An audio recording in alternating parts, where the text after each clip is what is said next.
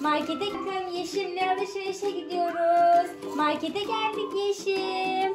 E bak şimdi sana mamalar alacağız. Neler istiyorsun? Bak burada eti puf var, bisküvi var. Kinder sürpriz var. Kefir ve yoğurt da var. Sen çok seversin. Çok Şeker var. Bak görüyor musun? Şeker de varmış. Merhabalar marketçi. Nasılsınız? Ne istiyor? Bir sürü şey istiyor bu ya. Abur cubur istiyor. Ama ben önce sağlıklı bir şeyler alacağım. Sonra da biraz bisküvi, çikolata falan da almak istiyorum Yeşim'e. Bir de şeker. Evet şeker de alalım. Hadi bakalım bir tane sürpriz alalım. Eti puf alalım. Şöyle yanında dursun bunlar Yeşim. Ben de Bir tane de bisküvi alalım. yapalım. Tamam. Ama şekerinizi de. Şeker de alalım. Ah çok teşekkür ederiz. Evet koy Yeşim'in yanına. Biz şimdi size ödemesini yaparız. E, çikolata da alalım bir tane Yeşim'e. Koy Yeş koyar mısınız Yeşim'in yanına? Siz? E, ben almayayım. Ben bir tane dondurma alayım lütfen. Teşekkür ederim. Sağ olun. Yoğurt ister misin? Olur ister. Çok sağlıklı Yeşim yoğurdu çok sever. Şöyle bir tane alalım. Olur kraker de alalım. Bir tane de kraker koyar mısınız arabamıza?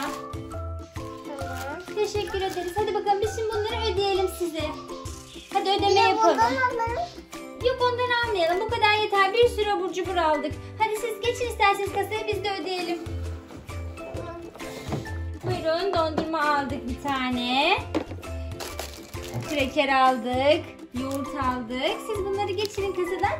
Biz de size ödeme yapalım.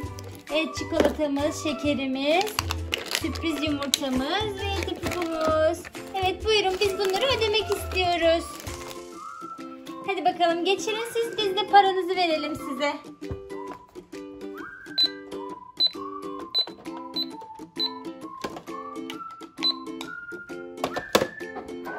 Teşekkür ederiz.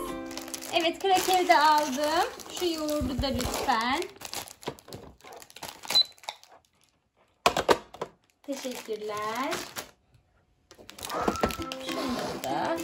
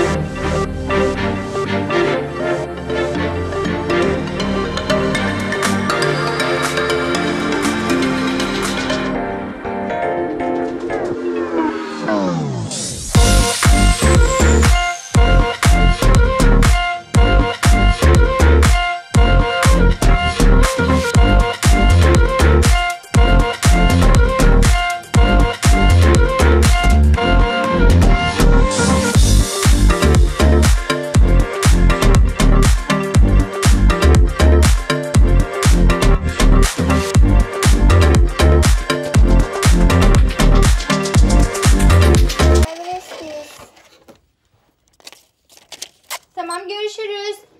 Kendinize iyi bakın. İyi günler.